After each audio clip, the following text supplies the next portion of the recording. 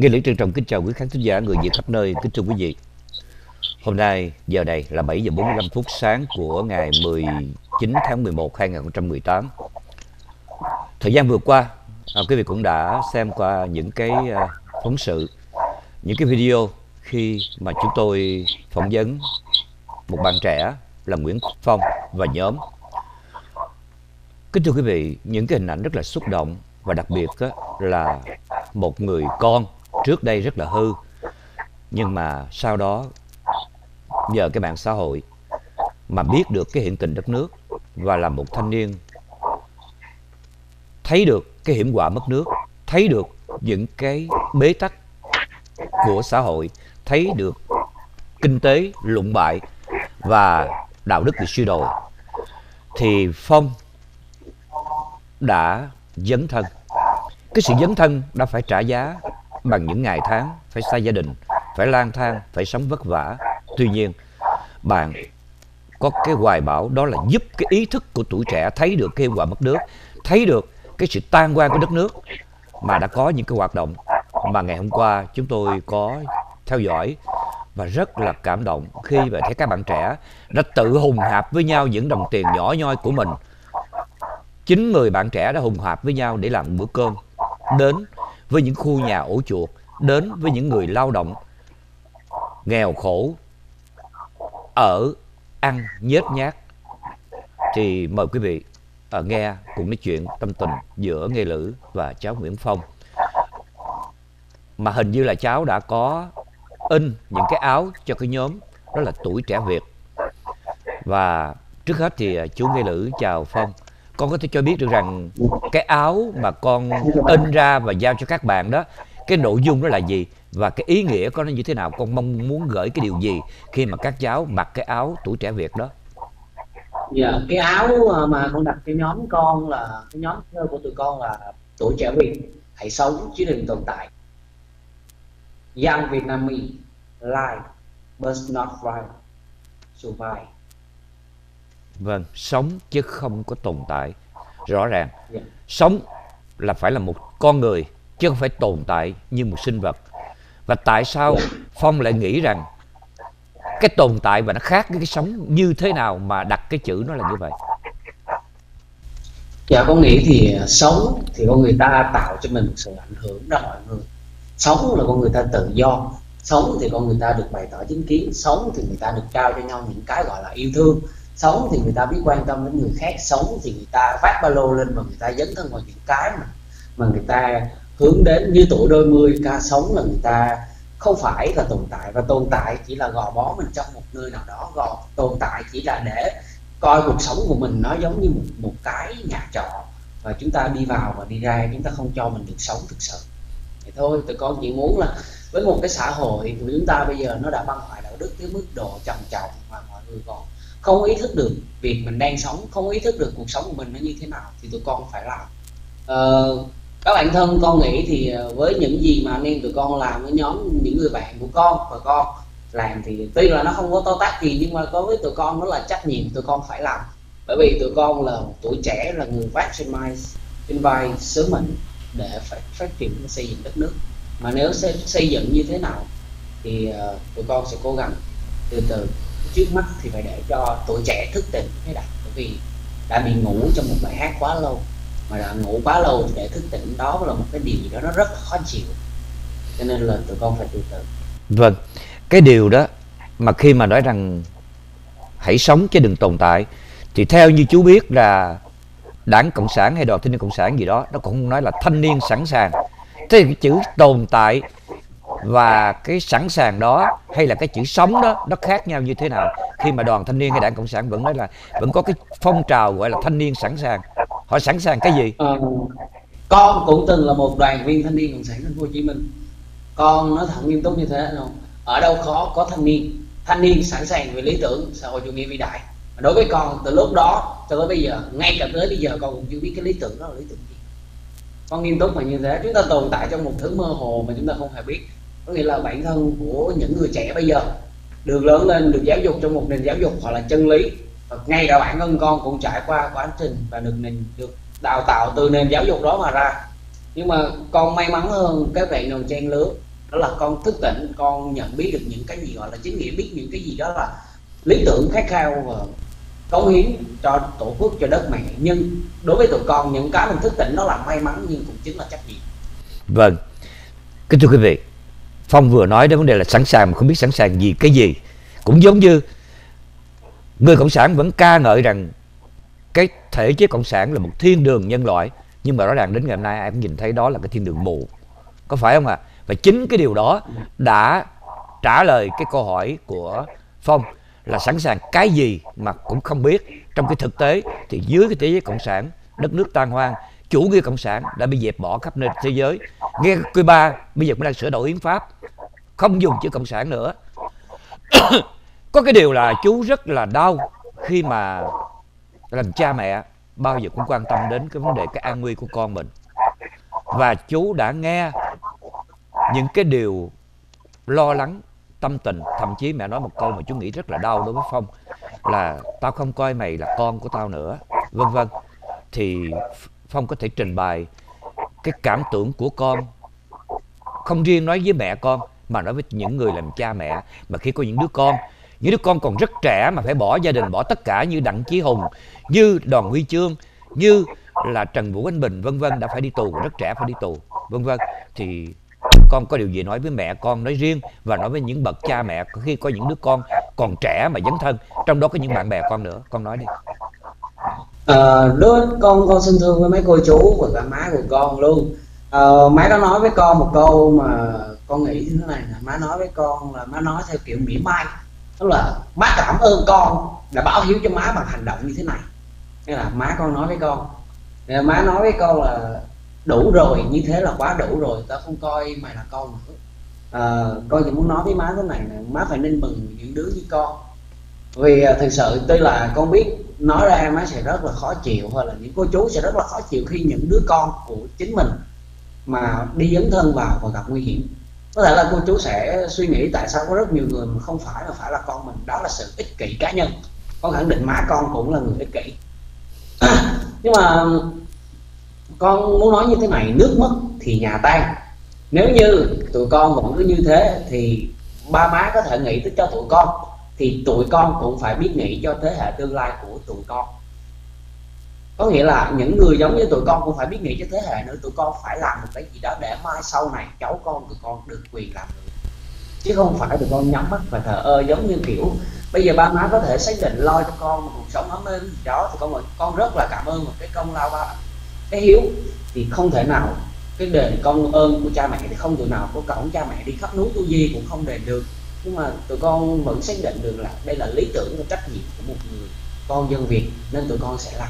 Con rất cảm ơn và hy vọng cô chú sẽ hiểu cho những người con của mình và má sẽ hiểu cho con. Vâng.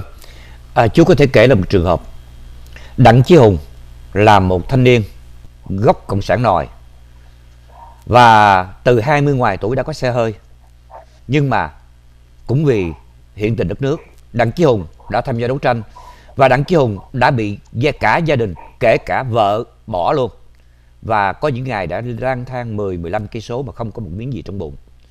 Và rồi thì khi chú có dịp phỏng vấn đặng chí hùng, hỏi là tại sao con lại có thể làm như vậy?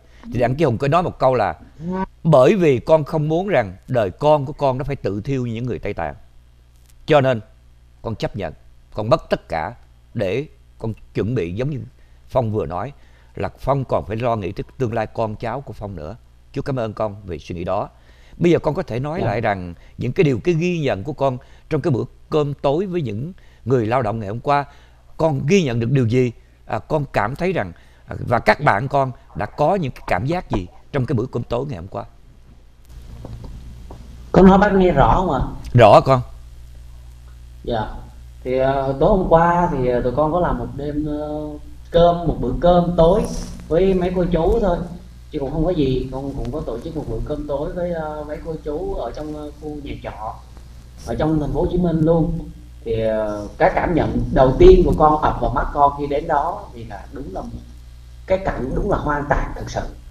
Cái nơi đó không phải là nơi dành cho con người ở. Con nói như thế luôn tức là một nơi mà ruồi mũi nó bay xung quanh luôn rồi mũi nó bay xung quanh mình nơi mình sống luôn và cái nơi mà cô chú ngủ đó là chỉ là một cái gói gọn chỉ khoảng 2 mét vuông. Đủ để bỏ một cái võng và nằm phải bó người lại và có một cái quạt. Còn à, những cái phòng lớn hơn một chút xíu thì con nói là cái mái tôn nó sát luôn. Nếu như mà cái thời tiết ở thành phố Hồ Chí Minh này mà nó nắng kiểu như thế thì buổi trưa chắc chắn không thể nào ở trong nhà được. Cái nhà vệ sinh thì khoảng 30 người đến 40 người sử dụng, mà cái nhà vệ sinh thì cái vòi nước thì cũng cũng con nhìn là con nói là nói chung kinh khủng lắm. Nó thực sự là cái cảnh sống rất kinh khủng. Của con tới đó thì con nhận ra một điều. Là chúng ta đã thờ ơ quá lâu. Thanh niên đã thờ ơ quá lâu.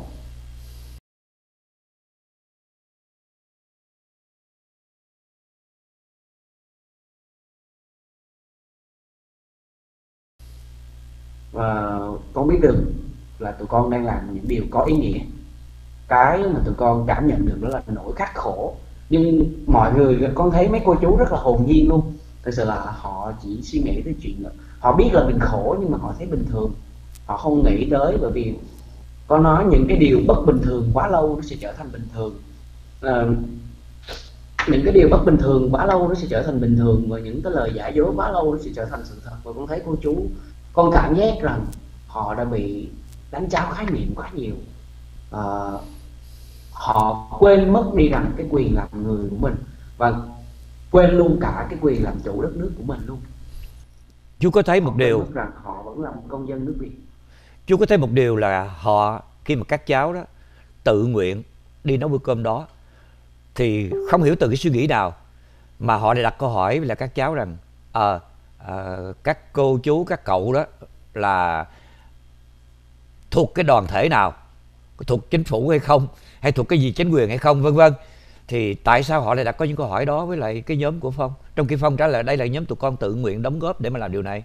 Tại sao họ làm cái điều đó? Ở việt nam nó có nhiều cái đoàn từ thiện như vậy hay không? Của chính quyền đó. Gần như là không có.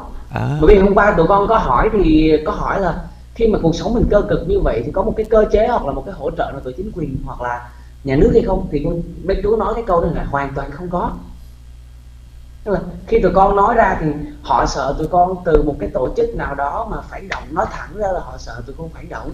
Ừ. ý là tụi tụi sợ là tụi con nhận tiền từ tổ chức phản động nào đó họ bị tránh tráo khái niệm nhiều lắm họ bị đàn áp tư tưởng họ bị sợ hãi. Mà tụi con cũng cố gắng giải thích là những gì tụi con đang làm chỉ là tấm lòng của tụi con tới đây ăn cơm và tìm hiểu cuộc sống xung quanh cô chú và đầu chia sẻ với nhau thôi.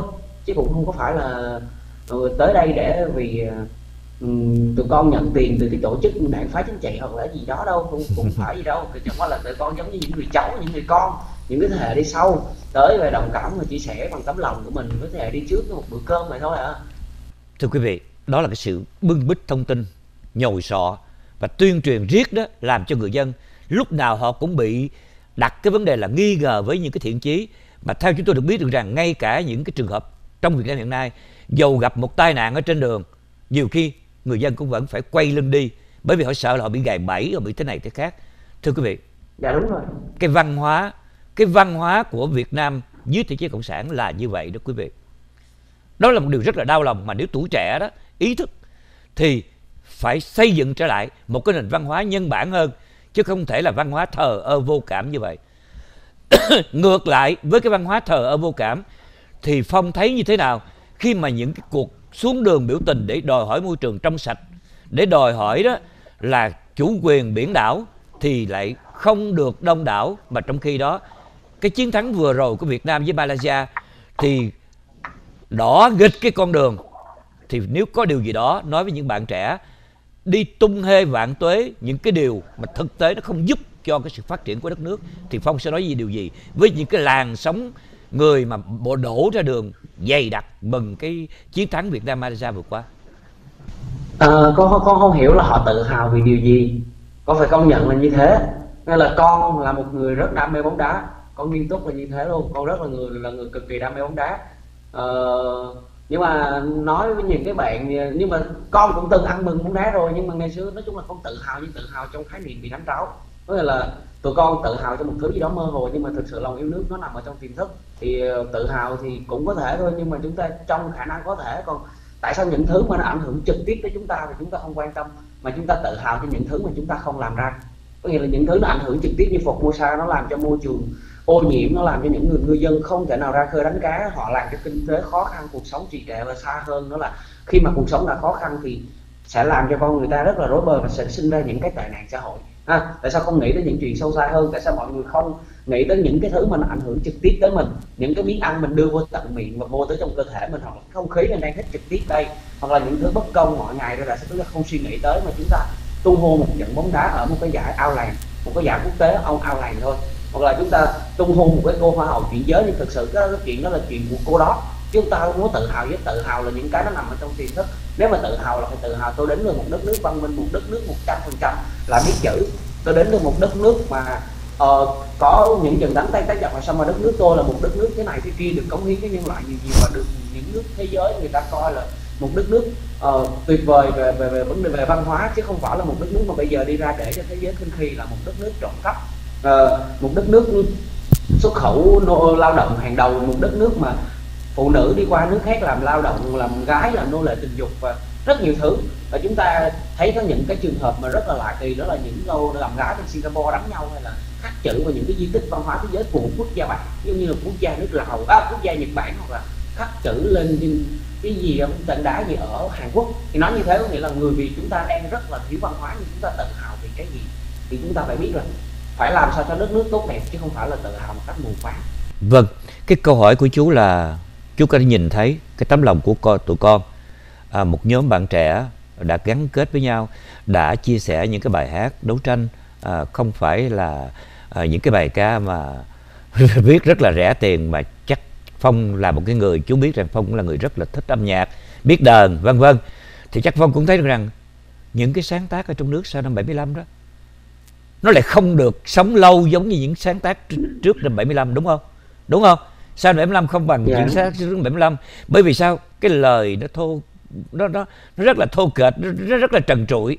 Và đồng thời nó nó như thế nào đó thì nếu có một, thấy rằng các cháu đó đã sử dụng những cái bài hát để vực dậy cái tinh thần yêu nước, để nói lên như là đáp lời sông núi, như lại trả lại cho dân, vân vân, thì khi mà hát những bài đó ở trong nước, chắc chắn rằng các bạn trẻ tuổi như phong cũng thích văn nghệ.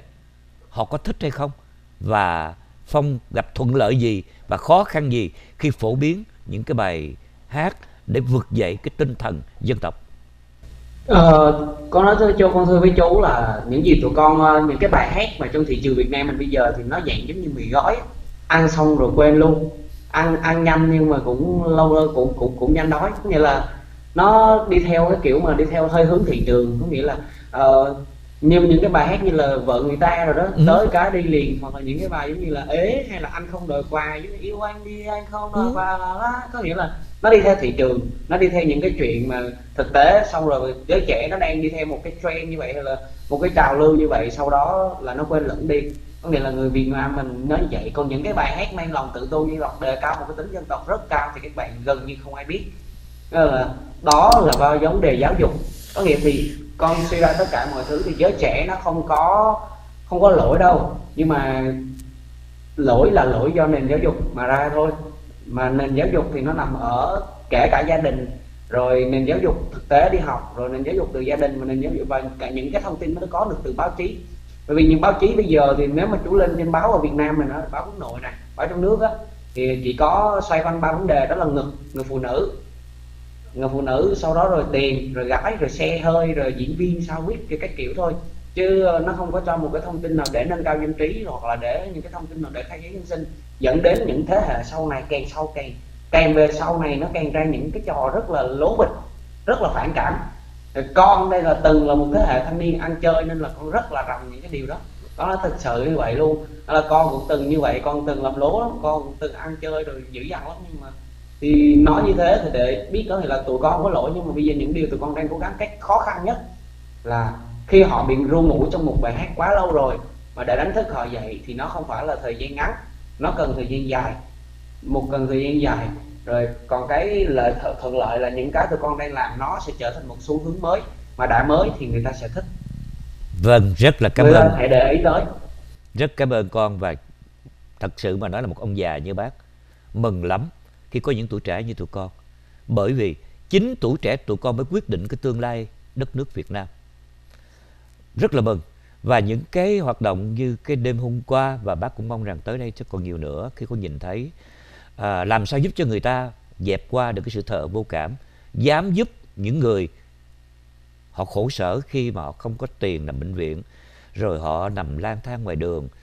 Chú cũng đã từng chứng kiến có những bạn trẻ đó là đi đêm đến những cái người mà ngủ ngoài đường để mà cho năm mười đồng bao nhiêu đấy nhân dân rồi mua bánh hay gì đó thì mong rằng giúp cho những bạn trẻ như tụi con nhiều hơn nữa tạo thành một cái tính đó là có trách nhiệm với xã hội có cái tính vì mọi người đừng có thờ ơ vô cảm. À, thậm chí chúng đã từng thấy có những cái tai nạn ở trong nước. Cái người bị tai nạn là tai nạn mà người đi đường cứ đi qua tỉnh bơ à rất là buồn. Thì bây giờ nếu có điều gì đó để nói với những bạn trẻ để chấm dứt cuộc nói chuyện này nói những bạn trẻ trong nước à, con kêu gọi các bạn con cần nói thêm điều gì mà trong khi việc làm con chưa đến. Mời con.